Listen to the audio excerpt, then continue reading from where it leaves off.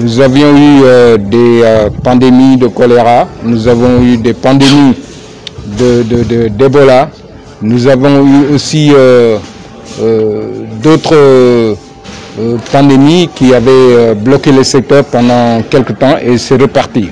Bon, cette fois-ci, nous allons vivre les mêmes expériences qui se sont passées.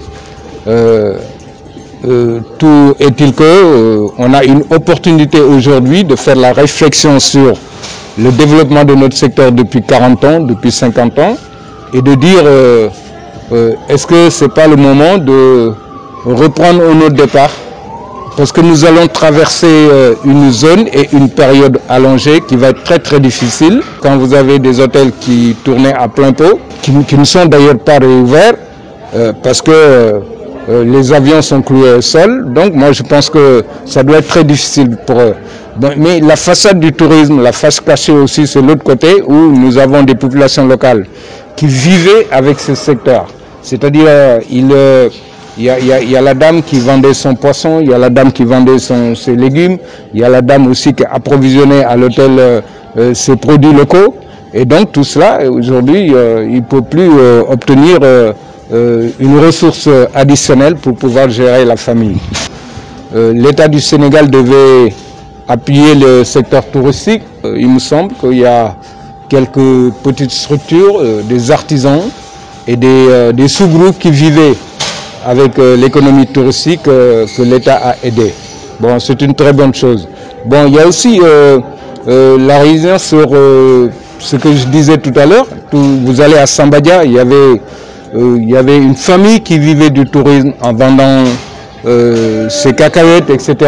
Bon, cela, euh, si l'État du Sénégal leur a octroyé quelques sacs de riz, bon, c'est aussi pas mal. toujours est-il que c'est l'argent du peuple qui a été collecté pour pouvoir aider le peuple. C'est ce qu'on appelle la solidarité. Moi, ce que je propose pour une relance, déjà qu'on essaie de voir des produits de substitution, des produits de substitution, parce que nous ne pourrons plus euh, se camper dans la léthargie euh, euh, du développement du secteur que nous avons vécu ces, ces, 20 dernières années, c'est plus possible. Donc, il faut qu'aujourd'hui, des, des, initiatives de l'innovation sortent de terre avec, avec audace et avec aussi pragmatisme.